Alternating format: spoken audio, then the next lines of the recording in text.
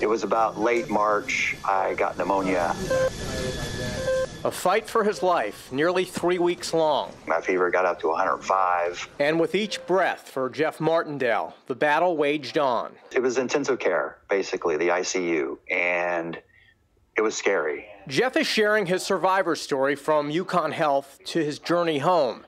Just 47 years old, Jeff, who works on the business side at ESPN, was among the first COVID 19 patients diagnosed at the hospital.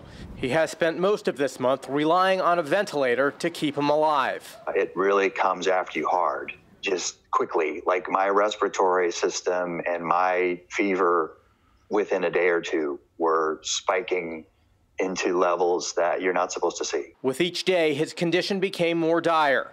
Jeff credits the doctors and nurses at UConn Health. The nurses and doctors were fearless. Like they didn't even think twice, but they came right in there and did whatever was needed. And perhaps that led to this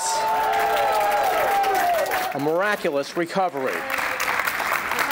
This is Jeff last week, leaving the ICU. He is the first patient at UConn Health who was on a ventilator and now released. And today, another first a chance for Jeff to see his nurses again. Jeff, you might not recognize them, uh, no PPEs, but we wanted you to say hi to uh, Melissa and Daisy, uh, two of your nurses.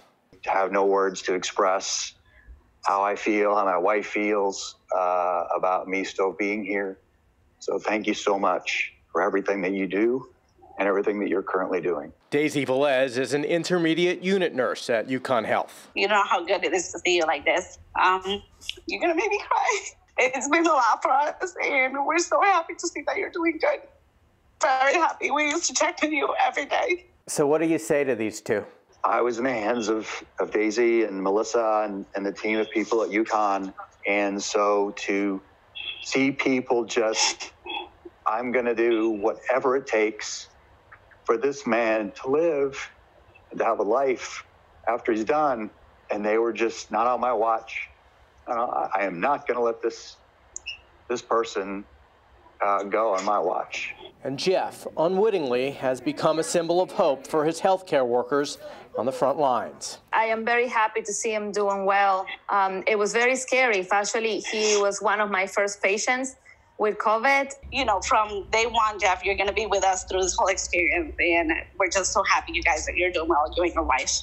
I'm the one that is overwhelmed with joy because I'm still alive. So uh, I just can't can't thank you guys enough. In Farmington, Jim Altman, Fox 61 News.